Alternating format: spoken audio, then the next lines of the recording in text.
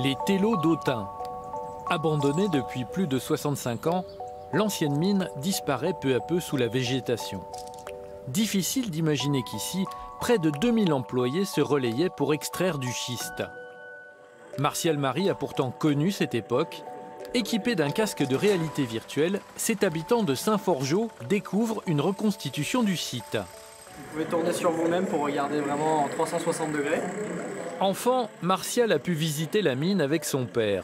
Dans la simulation, il retrouve des lieux familiers auxquels il ne manque pas grand-chose. Moi, le souvenir que j'en ai, c'était une usine qui était très très bruyante, hein, avec euh, une odeur excessivement forte, quoi, parce que bon, il y avait une odeur de schiste, une odeur qu'on retrouve dans les raffineries. Hein.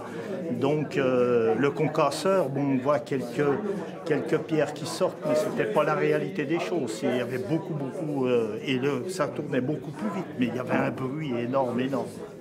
La reconstitution est l'œuvre de deux étudiants de l'IUT de Chalon-sur-Saône.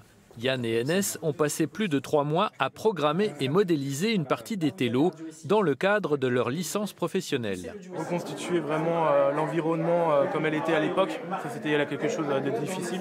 Surtout que nous, euh, les images qu'on nous a données, c'était aussi de différentes époques et du coup, il fallait vraiment classer ça pour que ça soit vraiment représenté le plus fidèlement possible à la réalité. À l'origine de ce projet, l'association Musique au Champ, son président n'en est pas à son coup d'essai. C'est une suite en quelque sorte, puisque euh, pour la session précédente, des étudiants avaient mis en réalité augmentée trois animaux du Permien, et c'est une continuité qui nous a amené, donc toujours en travaillant sur cette période géologique, sur les schistes, à réactiver et à remettre euh, l'usine, l'ancienne usine des Télos en réalité euh, virtuelle.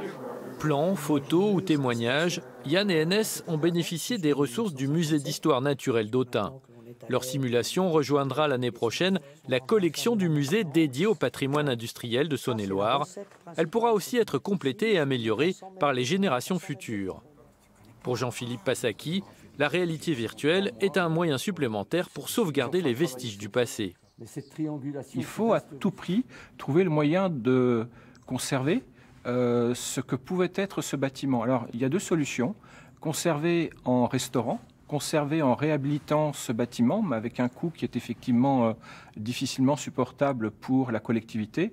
Et puis d'autres solutions, et en particulier ce qu'on appelle la réalité augmentée. On sait qu'un jour ce bâtiment s'effondrera si rien n'est fait à horizon 10-15 euh, ans.